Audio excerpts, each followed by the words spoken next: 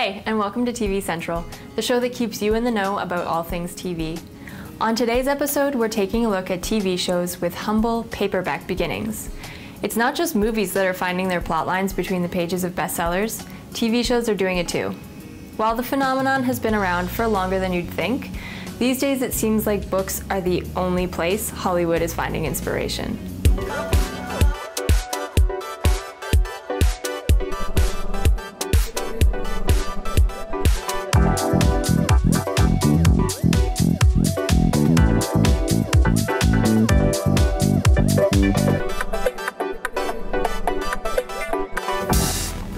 House on the Prairie wasn't just about pioneers, it was also a pioneer itself. As one of the first TV shows based on a book, it not only brought to life the beloved characters created by Laura Ingalls Wilder, but it ran for nine seasons, proving that turning books into TV shows could be a very lucrative endeavor.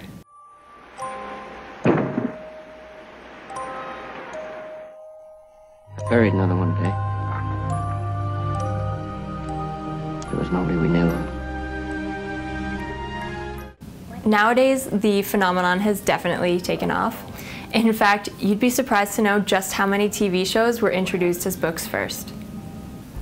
Game of Thrones is an obvious one, as the books are now just as famous as the show. It all began in 1996 when George R. R. Martin published A Game of Thrones, the first novel of a series titled A Song of Ice and Fire. Over the next 10 years, he added three more books to the series A Clash of Kings, A Storm of Swords, and A Feast for Crows. It wasn't until late 2009 that a pilot episode was produced based on the series, and in March 2010, a series commitment was made for nine further episodes. When the series premiered in April 2011, it was met with rave reviews and critical acclaim. With the conclusion of the first season came 13 Emmy nominations, including Outstanding Drama Series and Outstanding Supporting Actor in a Drama Series for Peter Dinklage. Needless to say, it was picked up by HBO for a second season and is now in its third season with a fourth on the way. George R. R. Martin is still writing books for the series, so there's no telling when the show will come to an end. Notorious for showing no mercy to its characters, the show, as well as the books, has no problem killing off audience favors, favorites, no matter how loved they are. And speaking of gore and death, let's move on to another killer TV show, Dexter. Dex, thank God you're here.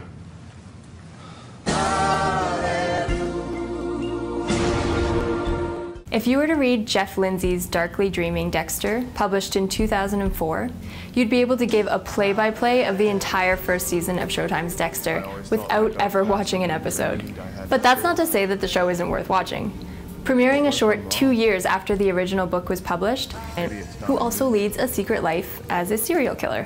While he doesn't claim to have a conscience, he still wins the audience over with his code. The only people he kills are criminals who have slipped through the cracks of justice. The series lasted eight seasons and only concluded a few months ago on September 22, 2013. The series finale drew 2.8 million viewers, which happened to be the largest overall audience in Showtime's history. While we're on the topic of blood, I might as well mention the two big hits, Vampire Diaries and True Blood. Vampire Diaries is a show about, you guessed it, vampires. And yes, they keep diaries.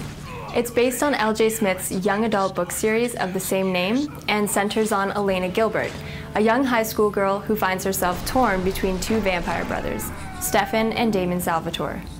While the basics, like character names and some storylines, are similar, Kevin Williamson and Julie Plec, the show's developers, decided to deviate quite a bit on a number of integral points to sort of make the show their own.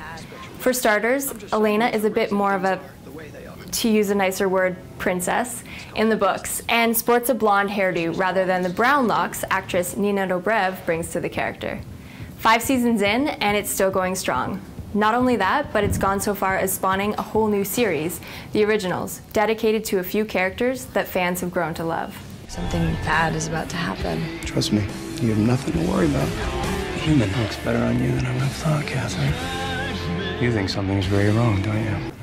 The show is known for its sizzling hot men, independent and salacious female characters, and a whole lot of doppelganger plot twists. For a bit more of a darker vampiric story, there's True Blood. This wildly popular TV series is based on a book series known as the Southern Vampire Mysteries, or the Sookie Stackhouse novels by Charlaine Harris. The books were first published beginning in 2001, but it wasn't until 2008 that they came to life on the small screen. Anna Paquin plays the main character, Sookie Stackhouse, a telepathic waitress and vampire sympathizer. In the fictional world depicted in True Blood, humans know about the existence of vampires and everybody's just trying to get along. In the first few seasons, Sookie Stackhouse manages to get along famously, if you know what I mean, with Bill Compton, a vampire whose life she saves in the first episode of the series. With six seasons under its belt and a seventh coming in 2014, True Blood is still doing exceptionally well. One fictional character that everyone knows from his books is the illustrious Sherlock Holmes. Sir Arthur Conan Doyle's brilliant character hasn't just inspired one show, but many. BBC's Sherlock, the CBS hit Elementary, and Canada's own Murdoch Mysteries are all based, however loosely, on the famous detective and his exciting adventures.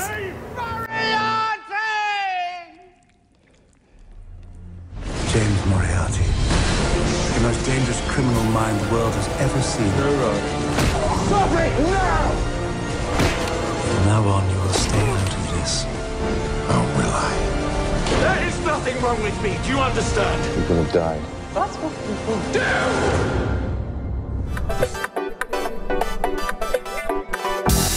New to the small screen this year are two more TV shows inspired by big name books. Stephen King's Under the Dome came to life earlier this year with the help of screenwriter Brian K. Vaughan.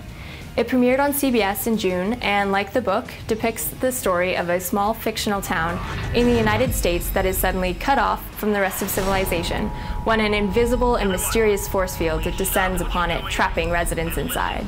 The trapped townsfolk are forced to uncover the secrets and purpose of the dome and its origins, while also unintentionally discovering the secrets of those all around them.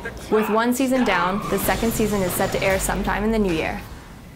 Another new show this year is NBC's Dracula, which premiered not too long ago on October 25, 2013. The series was created by Cole Haddon and is a reimagining of the classic Dracula novel by Bram Stoker. The show scores points right off the bat for casting Jonathan Rhys Meyers as the title character. After reigning for four seasons on the Tudors, it's about time that gorgeous face entered living rooms again.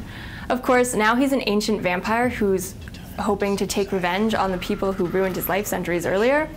Not exactly the kind of guy you should bring home to meet the family.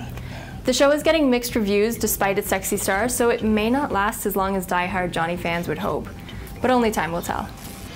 If you set aside Dracula, which, in fairness, isn't holding too closely to the original story, for the most part, it seems that if you take a best selling book and turn it into a TV show, you're guaranteed at least a few seasons and a loyal fan base.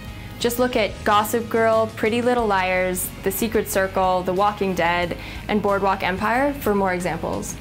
I mean, if it works, it works. As an avid reader and aspiring novelist myself, I have to say I'm pretty okay with this phenomenon. I like the idea of seeing some of my favorite characters come to life and exist even after I finish reading the book. And there's so many great books out there that could still get this treatment. If done right, who knows how many more fantastic TV shows could come from this. That's it for today's episode of TV Central.